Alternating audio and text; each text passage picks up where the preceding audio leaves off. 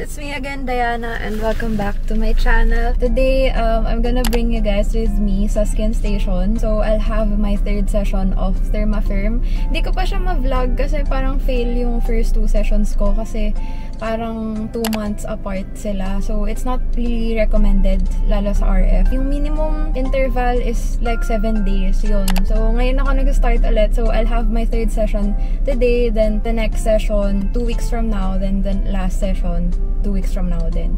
Anyway, ayun lang guys. I think hindi ako makapag-vlog habang nagda-drive kasi nga, naiwan ko yung tripod nitong DJI. Ayun, nagmamadali ako kasi ano, late na ako nagising. Yan talaga yung isa sa mga insecurities ko growing up. Ang taba talaga ng pisngi ko, guys. Anyway, magda-drive lang ako, guys. Pa-highway na kasi ako. So, I'll see you guys later.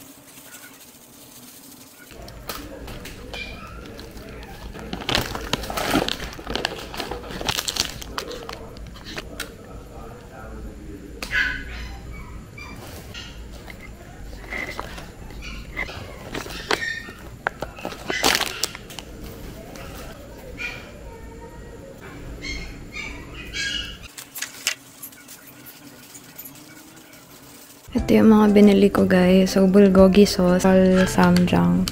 Napansin ko magka-brand sila. Peanut butter, protein, ito healthy snack, coffee, tapos wheat raisin bread, nori, UP, ramen, melon, dalawang tuna, pag wala akong maulam. 3 in 1 ni mama.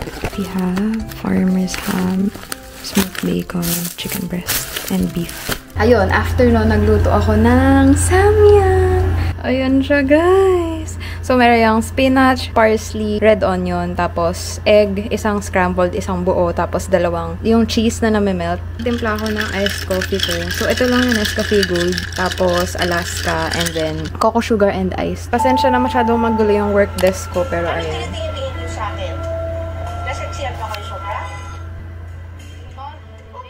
Hey guys, it's me again, Diana, and welcome back! Ito yung mga kalat. Wait lang. Welcome back to my nagmamadaling channel.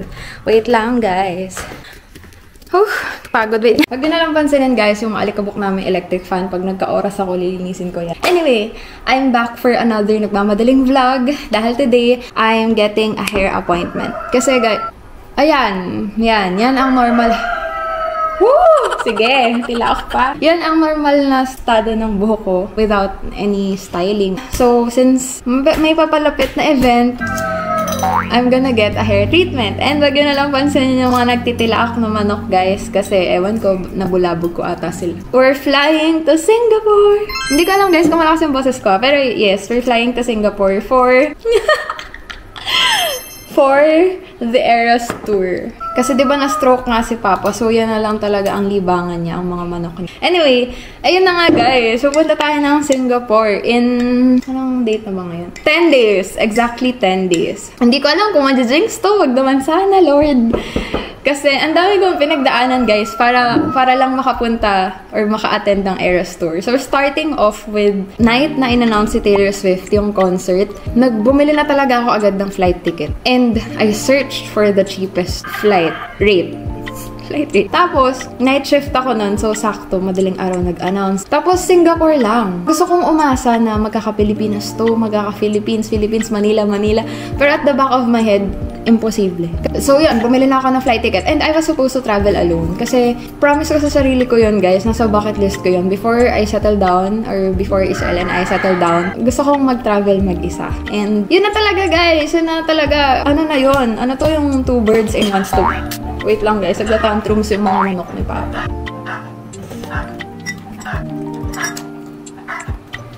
Kaya nyo ba? Pakinggan ako guys, nang ganyan sila. Sa that time, ang in-announce pa lang is yung March 2 to 4 na dates. Sabi ko, safest na i-book ko yung February 28 para in case of any delays or cancellations, ahead pa rin siya dun sa March 2. So, March 5, yung safest na earliest uwi kasi March 4 yung last uh, date of the concert. So, sabi ko, 7 nights, ay 6 nights basically.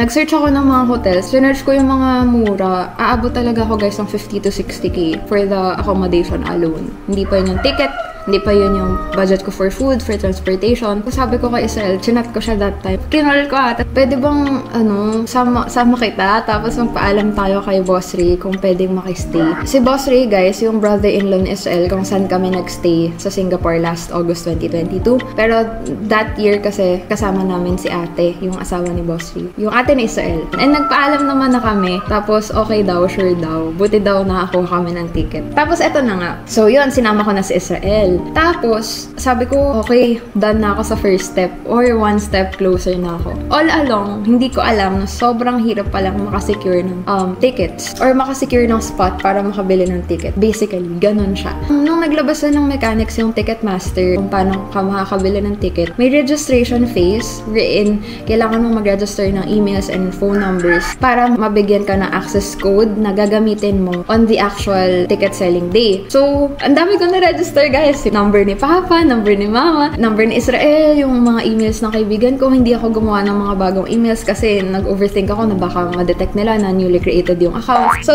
sobrang paraning talaga guys. So, ang dami ko ni-register. Bumili pa ako ng SIM. Ganun kalala. But ending, hindi ako nakakuha ng access ko. So, that was my first heartbreak. Sabi ko, bibili na lang ako sa reseller kahit medyo mataas yung price. Tapos yun. Tapos biglang, siguro parang days before the actual ticket selling day, nag-announce yung Klook na they've partnered with Ticketmaster and they're offering um, tickets, concert tickets along with a hotel accommodation or a one-night stay sa mga hotel na affiliated with Klook.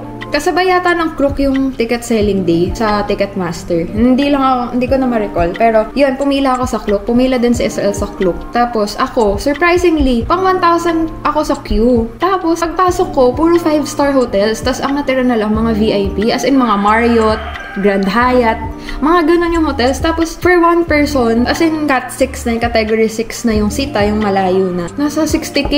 Tapos sabi ko, shit, hindi pwede. Sobrang beyond siya ng sinet kong ceiling price. Sabi ko, hindi pwede. One night stay lang to, 60k. Oh, may ticket nga ako, pero hindi naman ako magwawaldas ng ganong kalaking pera, guys. Tapos nung lumabas ako ng Klook app, nung nag-back ako, na-realize ko, nakapasok ako dun sa 5-star hotels. Kaya pala pang 1,000 lang ako sa pila. Then sa Israel, nakapasok siya sa 4-star hotels, pero ang mga natira na lang VIP. Tapos pang nasa 600k yung queue niya. Tapos natatawa pa ako nung kay Israel kasi sabi niya, kapag 50k per pax to ba, go na natin. Any, anyway, yun na. So, sawi kami sa Klook, ganyan. Sawi din kami sa Ticketmaster kasi hindi kami naka-receive ng access codes. Surprisingly, or sobrang random, minessage ako ng friend ko. As in, virtual friend ko lang sila, guys. Hindi pa kami nagkaroon ng um, interaction in person. As in, yung interaction namin nasa Instagram lang, Facebook, ganyan. But we have a common friend. Pero, sobrang random and na-shook ako na minessage nila ako na, uy, may isa pa kaming slot sa ticket. Gusto mo bang sumabit? Ganun kasi di ba maximum tickets na pwede mong i-purchase per transaction per access code is 4. So, tatlo na sila. May kulang silang isa. Or, hindi naman kulang. Pwede naman tatlo lang bilhin nila. But, they offered na apat yung bilhin nila kasi may isa pang slot na pwedeng bilhin. And alam nila na wala akong ticket na nakuha kasi parang nag-story ako nun na, ah, sobrang heartbroken ako, ganyan. Kasi naiyak talaga ako nun, guys. So, sabi ko, sige, kung pwede, pasama naman, please. Yun, nakabili ako ng ticket, guys, ah. Kasi hindi pa rin ako makapaniwala. Un- up until now, hindi ako makapaniwala. And sobrang thankful ako kay Eriza and Shireen. Actually, itong mug na to, kasama to sa binigay na gift box ni Eriza. May mga binigay siyang Taylor Swift items na basta ang dami talaga, guys. Mag-insert ako ng photo dito. Yan. And ginagamit ko siya now para, alam mo yun, ma-manifest ko ang Eras Tour. Anyway, ayun. So, yun. Tapos parang weeks after that, nag-chat si Eriza na yung ate niya, which was yung third ticket holder, hindi daw makakapunta sa concert. Sinabi ko kay Israel, sabi ko, Bob, hindi daw makakapunta yung ate ni Eriza. Gusto mo ba kunin natin yung ticket? Yung isang ticket. Sabi ni Israel, eh that time, sobrang hook na Israel sa ano, sa reels ng Eras Tour. Nag-trend kasi siya guys, diba? Yung mga nasa Discover mo, puro Cruel Summer na Bridge, yung I'm drunk in the back of the car. Ganon. Sabi ni Israel, sige Bob, kunin. Tapos sobrang happy ako kasi excited siya. And as in, ina-acknowledge niya rin talaga na magaling na artist si Taylor, na magaling siyang singer-songwriter. Binila niya yung ticket. Uh, Ilang days after that then, nag-iba yung isip ng ate ni Eriza ata na makaka-attend na ng concert. Attend na ulit yung ate ni Eriza. So, kailangan niya ulit kunin yung ticket. Siguro mga 2 months ago lang, or 3 months ago. Siguro 2 months ago. Or 3 months ago.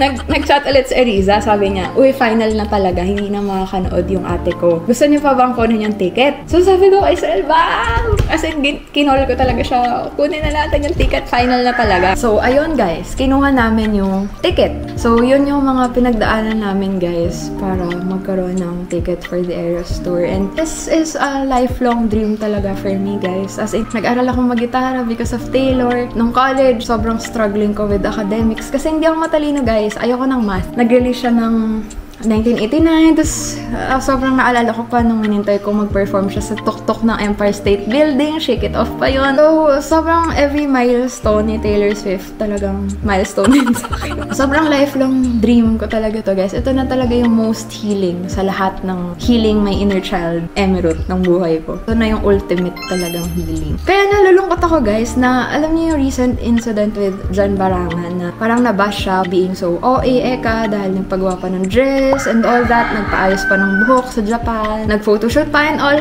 Hindi niyo siguro siya magigets if hindi kayo nagpa-fangirl or hindi kayo fan ng isang tao who inspired you, who, you know, comforted you sa times na kailangan mo ng comfort when everybody else ay hindi available para i-comfort ka.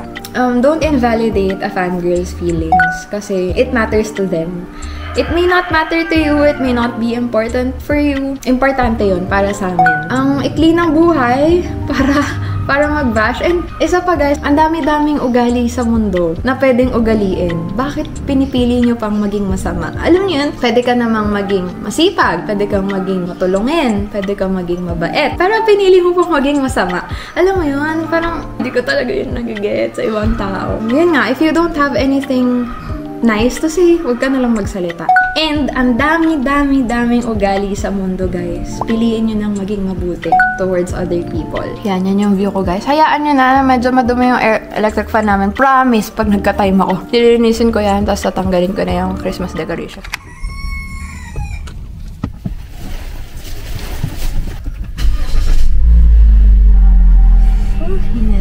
Ayan yung view ko guys. So, yung dalawa naming aso. Super nakakagil talagang mag-iwan ng aso. Tara na, iiyak kasi yan eh. Patugtog tayo. Medyo LSS ako ngayon sa ano. Ato. Tugtog tayo. Living on a jet plane.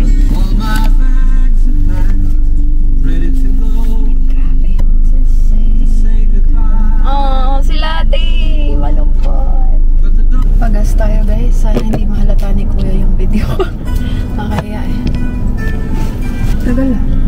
Gusto ko sana magpa full tank pero pero wala na akong pera.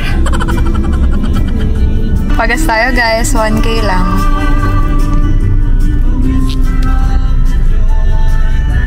Puntahan muna natin guys si Israel kasi walang parking doon sa salon. Baka masagi si Fuji tsaka nakakahiya. Dalawang lane na nga lang. Kakainin ko pa. Magpa-park pa ako doon sa isa.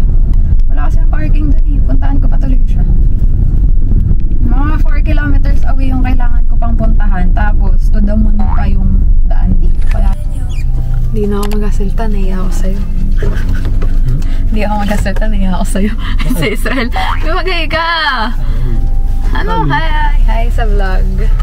Hi to your vlog. Tapos na ako magpa. Bakit kulay pula? Hmm, ayan na guys. Namumula daw to sa ilaw sabi ni Israel eh. Nagpa-red ako. For a change. Let's go! Dito pala kami sa SM kasi si Israel nag-crave sa ramen. Kala mo naman may pambayan. Ah, sige, let's go! Para guys, sorry wala na akong energy. ah. Parang sumakit yung ulo ko dahil sa gamot na nilagay dito. Yung ginawa pala guys is hair botox with color.